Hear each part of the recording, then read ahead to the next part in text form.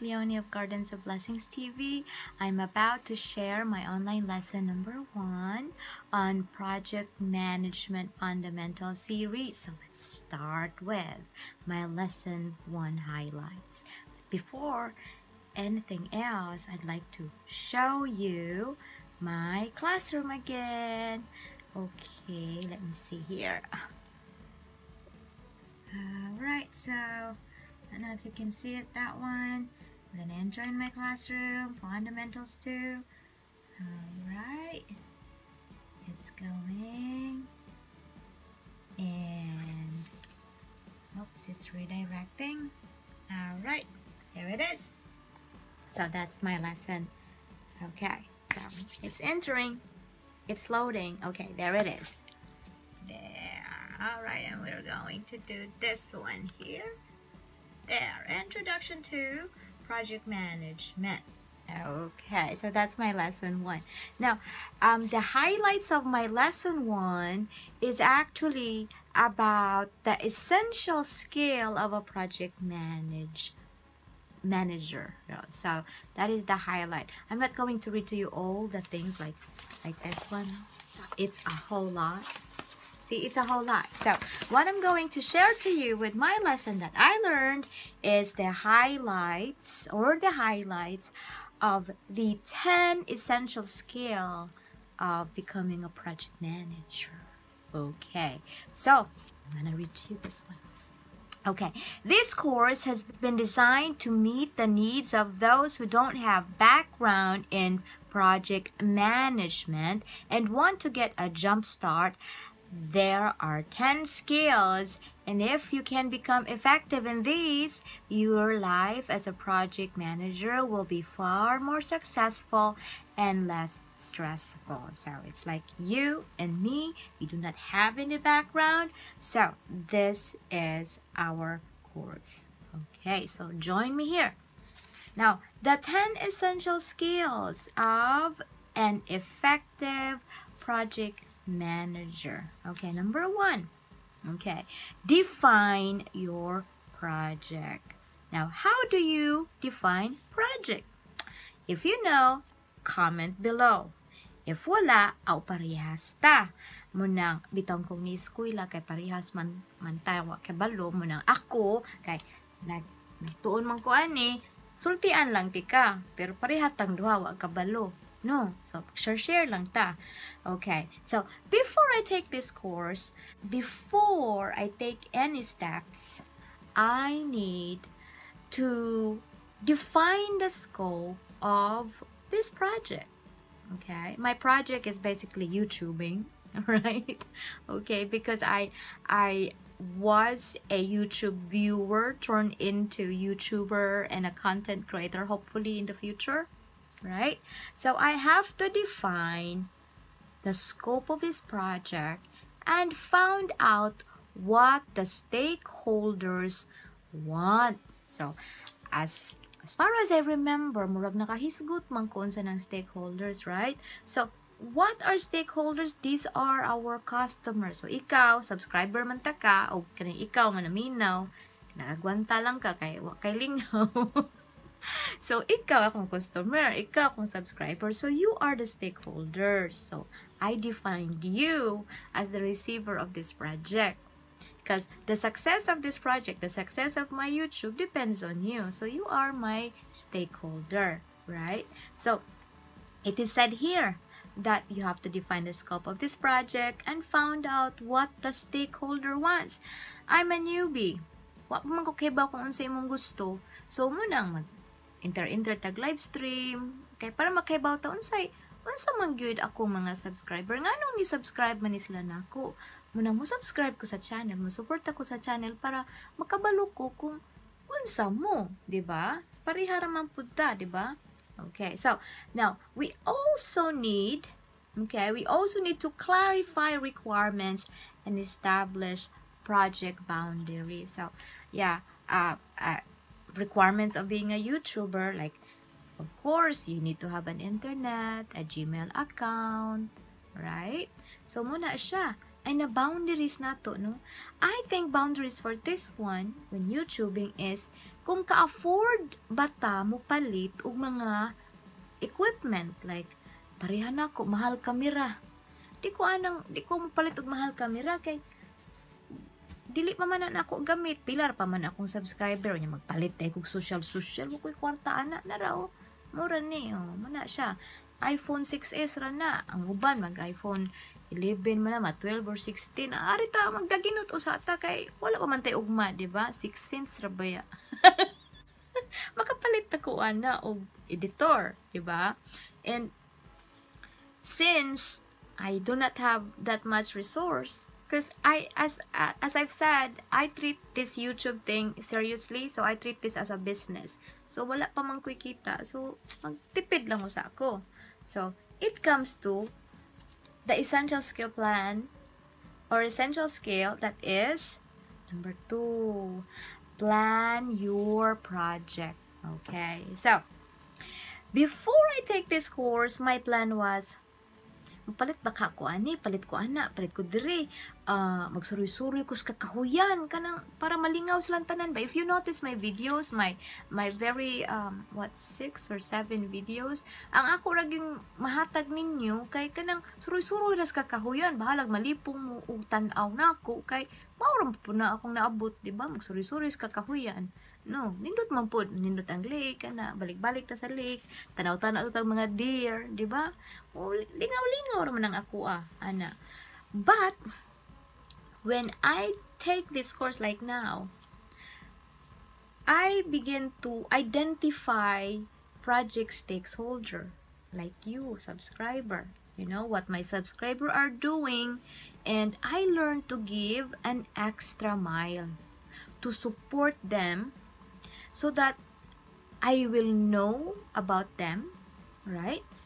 And also, finally, I will create a detailed schedule after knowing them, diba? Um, who am I going to to uh, to support? Diba? Pareha ba mi og pareha ba mi og kana ganing uh, interest, di ba? Kay dili mo sa tanan tanan-tanan tan-aw mahurot akong adlaw tan di ba? So, muna siya ato na nang giplano. Giplano na na ako akong mga project. So, uh, by the way, this is Okay, if you're watching right now, this is a series, a 12 series of lesson that I'm going to share to you. So, this is lesson 1. So, muagwanta pa mo o mga unsi katan-awan aning nga. Sige lang kitag storya o unsay atong angin buhaton aning o unsay atong nakatunan ani. So, dusi pa ni kabuk ha. Agwantaha lang ninyo. Napabetas number 1. so, so muna siya. So, I am planning priorities to schedule everything, 'di ba? Because I am planning. No, I I I plan my homeschool curriculum, when to edit, when to upload. Because before, no, sa makalugar lang, no? Bahala na unsa diha, makalugar lang. But now, with project management, you have to plan because you have to consider to balance everything. Balance everything in your life because I'm not only a YouTuber. Maybe for some na mga single diha, they have they they really have the total control of their life but i have i have children and i have a husband you know? so with that i can anticipate problems because i am planning and that goes to our skill essential number three right anticipate problems. Lisod biya gyud ni mag YouTube.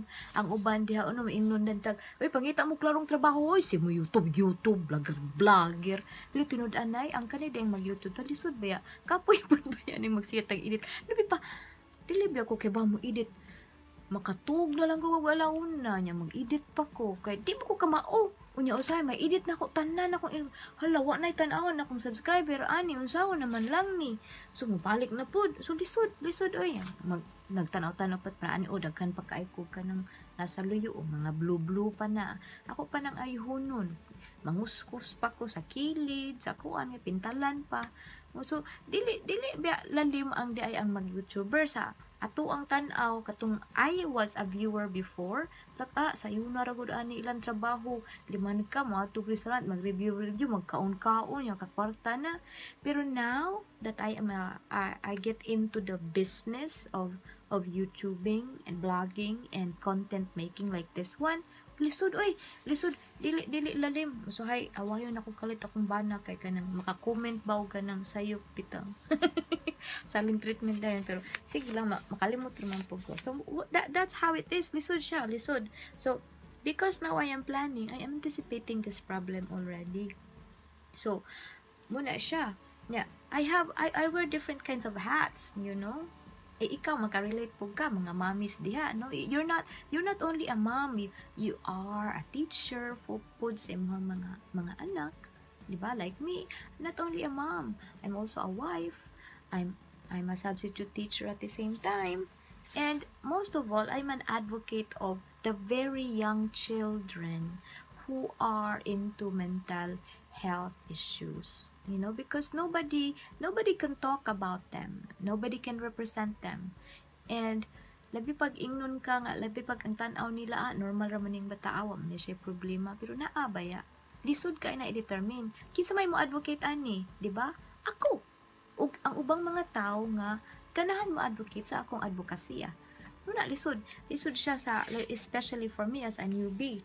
So, because of that, I anticipate that problem. I plan already and because of, I, I took this course, so it boils out to our fourth essential skills as a project manage, manager and that is communicate with our stakeholders. Muna nakikistorya ko ninyo. Kay, kung wala mo, wala niya akong advokasya wala ni wa, wa, walay walay rason o nganong nisulod ko aning uh, content creator or vlogging kung kung walay mo tan-aw na ako di ba? So wala siya ako mo communicate jud ta mo communicate ko sa inyo ha? Kung unsa akong mga kung unsay ako ang go kung kinsa gani tong stakeholders nato kung kahinomdum pa mo, comment below. Kinsa tong stakeholder. So, in order for me to communicate muna to, I will attend live streams, to engage, and be supportive. That's part of communication, you know? As I've said, give extra mile. I mean, I'm I only have how many subscriber now? Uh, one, one, uh, 112 and counting. Very, very small. But because I took project management, they advise us to take an extra mile, be supportive. Do not do not think about yourself first. Think of others first, you know, in order for you to become an organic subscriber. So that's what I'm doing. I would really support if I say, "Oh, I will support you." I would really support, ba? An extra mile na siya nga maka in the future. It might not be now, but in the future, I feel or I know that it would it would also help me in the future, not now, right? No, so muna cause cause the way I understand it YouTubing for me ha because of this all the project kana mga pro proyekto na to it's not it's not a sprint. Di man siya lumbaanay no it's a marathon. Kung kinsay mula hutay muna akong pagsabot. Kay I uh, I I do not treat YouTube as like kanang pastime lang siya. Serious man ni siya ako ang pag YouTube because I have an advocacy. And I also have something to share nga hopefully sa akong sigigyaw-yaw ani I will be heard right? So muna siya suporta lang yung ko bisan gamay pa akong subscriber. Kay as I've said I realized that this advocacy as a project this is not something kung kinsay makauna. Kay kitang tanan naamang kita ato ang kanya-kanya unyang ato ang highlights, di ba? So I have I have friends already that that you know they they are already there and something and i'm happy for them. And hopefully who knows i will be there too. But i'm not going to like magdali-dali ko. Kaya ang ako ang gusto makahibaw ko kung unsay tuyo sa ninyo di ba? So suporta lang usap ko mintas atong wala pa ko ako di ba? Cause cause um hopefully i will get there right? So that is how i will or we will communicate with our stakeholders. Now When we communicate, it will boils out to the essential number five. Manage your time. It, this is actually in connection with skill number three, diba? We will set our priorities, right? So because since I anticipated the rest, the balancing of my role, so of course, I manage my time. Sakto kayo ko sa. Pero, in reality, kaning time management, diri ko palpak Daw. Kung kamo, perfecto kay mo ana inyong time management, comment below. Ug unsay gibuhat ninyo nganong maayo kay mo ana kay ako palpak man ko ana para share share lang ta ba kung unsay inyong nakamat naka naka mahuan kung giunsa ninyo inyong kaugilingon pag time management which is for me dili, dili pa ko kabaw hopefully in the future when I when I uh, I'll do my template actually after this everything my assignment and something like that. I will be making my template and hopefully in the next uh, or in the in the coming videos that I will be having I am going to attach my template and I will going I'll be sharing it with you for my subscribers. So keep in touch huh? okay. Okay now six the number six essential skill is to manage the work. Okay? Manage the work is so hard because because I have decided I have decided to to myself or for myself that I will advocate for the mental health of the very young. I told my husband and I decided I decided for myself that I will improve our business through this course online. Mo ito nang nag ako gid siyang gi fundamental series 1 and 2 because I am pretty serious about our business na hopefully mo flourish siya. I, uh, ako dili ko na ikaawaw nga kanang ah kanang among negosyo hina ikaayo. And myth ni siya ha for all the people who do not know. Kung mayon gani kag imong bana farmer, dili na ingon dato dayon na farmer. Ha? Depende na siya kung unsa ang imuhang gi-farm. Silbi kung cattle raiser ka, or ana, siyempre dako-dako ginakita kay mga baka, good na siya. Dairy products, ma-convert na nimo. Pero, kung produce farmer gani ka pareha namo, ay na lang. Kay kanang kukuni mo, mas maayo pa ng kukuni mo, kay gusto kukuna ko. mga motive ako. I mean, we do we do sell sweet potato. Really? So, lisod siya cause kung mag-produce farmer ka pila ka kabuwan ang ang tag-init nga ri upat unong kabuwan ra niya. Kaman fall na on winter lisod na siya. So do not expect nga mayon kag farmer ah dato na na sila daghang kwarta na na. Hmm, mas nindot pa na inyong t-shirt kaysa ako ah. Mag-maintain nila kay good way kay nganong nganong magpaburas ka man ko nga ang akong kwarta summer raman ug kung mag-social-social ko unsa may kauno namo sa winter magngangami matilaan na mong snow mga pasmo mi so muna siya nga since I decided about it and I know I cannot do it on my own because I have a plan. Oh my goodness, I have a this this thing that is above my head is really real, you know. Uh, you know. so so I I decided to tell my husband that I cannot do this on my own. So I need a support, right? I need a support. So, wa may wala yung mahimo atong bana no? Mapagan man ginatong bana sa mga project. Mo nang kaning mga bana o maingon gani maingon gani ang asawa nga naamong koy project. Pustanay ka ng mga bana diya kulba kulbaan din na kay patay maapil naman pugkuan niya. Ako be unang kasukan og di mamao yung project? No ingana na. Okay. So So, wag kita laing ano yung mapaga na nga turang bana kinsa naman daing silingan. Klain to na. So, ana kani ato mga bana mo ni siya ato ang best friend without no choice. Kay nga nung naminyo bitaw ka na ako. So best friend ta you don't have any choice ha? Ana na siya. So number seven. Number seven essential skill. Control the work Okay, so since I delegated the part of my work to my husband and responsibility because you know project management for me we have about three big projects na among giplanuhan. Hopefully mo successful mi ani. So we have to control our work you know. So kani biyang word nga control? Not all people agree with this because may ka control ka ng murag martial law di ba? But in project management, I learned from this. In pro project management, control is a very important thing when you are doing your project because if you control your project, if you control your work, you have a definite goal, you have a definite strategy. anticipated the work naman nimo so muna siya na nakaimuhang goal ana ana kung walay control kung wala kay control sa imuhang work or wala kay control sa imuhang project kulang ang imong goal. So kung kuwang ang goal kuwang goal? Na kuyawa na. Di ta ganahan ana. Di ko ganahan magkuwang goal kay daghan na ta. Ba? So importante na siyang control para di ta makuwang goal. Kuyawa ani eh. basta mo na siya. So ana balik ta to. Number 8 essential. Number 8 know when you're done. So we already know if i know that i'm almost done okay i i have 112 subscriber to continue. My goal is okay if i am able to get 1,000 subscriber, 4,000 WH, wala, hapit na. Hapit na ta maka 6 cents wala pa ko ana pero hapit na na na, na tay mga kuan usa usa na sa ako unyang buhaton og template bitaw kung oh kana eng eng ana ba? Unsay unsay sunod buhaton kung mo maabot na na diha.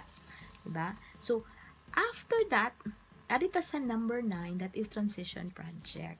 Transition the project. This time, you will identify kung unsa man gyud ang ako ang o pila man gyud ako ang organic supporter. That time will come. It's not now. It, I don't know when it will come, but it will come. You know? Maka-identify na ko, pila man gid akong, akong organic supporter, pila man gid kabuok ni sila nga mo suporta nimo cause what happened is with with the time being nga ako pa I, I am trying to I am trying to really know you you know I always give time to check on, on your video I, I really wanted to know you sa iyong muhang channel kung unsa ka kung makarelate ba ko nimo di ba so I will try to know kung nakasatisfy ba ko sa akong subscriber diba? That is a little bit challenging for me because, you know, dag, di man gid ni mo please tanan. I, am ako, personally, I'm a people pleaser. Right? Pero, in reality, di man gina, di tanang ta, di man gid tanang tao makauyo nimo, di ba? Bisan unsaon nimo balitok-balitok diha, na magi ubang tao nga di ganahan og balitok, di ba? Ganahan ra sad sila og lain na style, di ba? So, you cannot please everyone. So, this thing, mo transition ka when you are almost done with your project. Kana maka-identify na ka nga kani human hapit na ta maabot, di ba? Para haragulo na magsakay ta og barko, di ba? Makahibaw ka o kani isla na, hapit na ta maabot. Uh, ang mag magtanga-tanga ka diha, mag mag-andam na yug ka nga kani wa baka ko kuote dire be? Bitan-aw ta niya akong mga akong mga kuan dire mga mga butang o intact pa ba ni? Kay hapit na kita ng isla. Di ba? Nga na po na in, in reality in life. So since it is in a transitioning project we have to number 10 document lesson learned. And for me as a person personal because ako mag journal I I am really into journal. I love journalizing. I I start journalizing when I was high school. All the things of mga crushes not to mga hurts. What I have learned with my my first my baby miles you know I I'm so happy with my baby miles because when I started YouTubing And I realized, you know what, 100 subscriber, murag di man jud na nako makaya ang 100 subscriber nako immediately. Uy. So, I think, and I plan it out na, if I can make at least 2 months for a 100 subscriber, but you know what? Ang nahitabo, I got I got my subscriber 112 subscriber and counting for like almost a month lang. Because I, I think I started uploading I'm not sure ha? But I think I started uploading my my video January 25 man tingali to siya. And then karon sa panganta ron um Jan uh, February what are we? February 21 diba So before, I'm ko, wow, I am so happy because I already got my first 100 subscriber before before one month. So nakasave ko one month, 'di ba? Because lingaw man siya. Nalingaw man ko sa live streaming, 'di ba? And then because I I love supporting other subscriber. That's why I get to know I get to be noticed. I did I learned that I need to have an extra mile. So that's why they also support me, 'di ba? So muna siya akong na-learn and because because that is a really good indication of my learning that you know if you support it will go back to you, 'di ba? So muna ako siyang gidocument when was the first something. I forgot. Uh, I supposed to give you my uh, planner. I do have a planner here. I forgot where I put it. Murag na to ating ali sa pikas kwarto. So, wala siya akong gidocument. Wala kanindot man day ani basta magkugi lang ka. Nya magkugi lang po kag suporta sa uban nimo mga mga subscriber nimo. Makuan jud ka, ma, maka-notice gid sila nimo kay sa man di ay wa di, di man ta artista di ba? So we need to have an extra mile di ba? And I also learned ha I also learned that with live streaming you can find good good friends na makapawala sa stress you know? So akong dili na ko umalis I feel like we are good friends. Like I really feel like murag kaila na kaayo may biso na umi magkita. And that's one thing that I like with live streaming because you make a real community na pwede ka nimo maistoryahan unsay mga problema pwede mo mag-share og unsay kanang mga experience ninyo nga katawanan. Like si Little Wife Vlog. Di ko kalimot aning Little Wife Vlog bago gani ka. Oh hi! Welcoming ka. Ayo ba? Oh ganahan kay ko niya. And then si si Tess Marie malingaw kay ko niya. Basta mo attend ko sa ihang LS makalingaw makawala sa stress. And and these people are really really kind people. No? and then then after that si USA Pinay in the bio. So hardcore. Malingaw kay kaaning ilahang uh, mga words nga kanang vocabulary words nga among i-share. So malingaw ka magluha-luha o katawa you know and those are the things that I learned in live streaming nga um, I don't know about you but for us here nga mga Pilipino nga nagpuyo sa laing nasod it is very hard to to uh, communicate because we do not really speak in our own language. And then there you are talking to somebody to a Filipino online. You can express a lot better. And then uh, I could not uh, forget one of our uh, very very valuable conversation with USA Pinay in the bio nga naghinilak kay me hilak siya sa sa iyang live stream. Niya nihilak ko.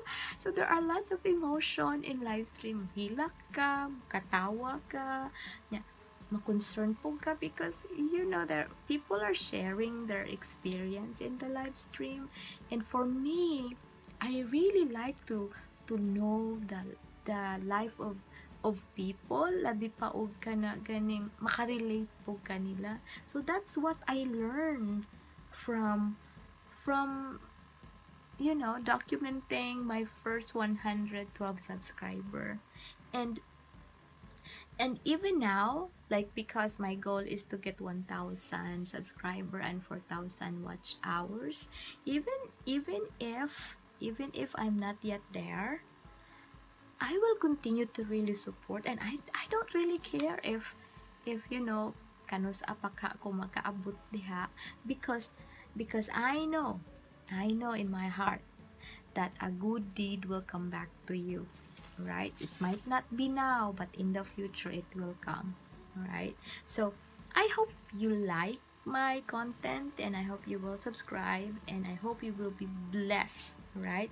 And by the way for those who are new this uh, project management is actually from virginia piedmont community college continuous education workforce. And salamat sa paghatag o kahigayunan nga pagpaminaw sa ako ang content niya. Magkita na po ta sa sunod nga lesson nako which is challenges of part-time project manager. So, muna siya ang lesson. I will give to you the highlights of the lesson. Kani, kaning mga highlights, mga challenges atong istoryahan. Unsa may mga challenges atong project. So, I am going to share that to you on our next lesson. And thank you for listening. Bye-bye.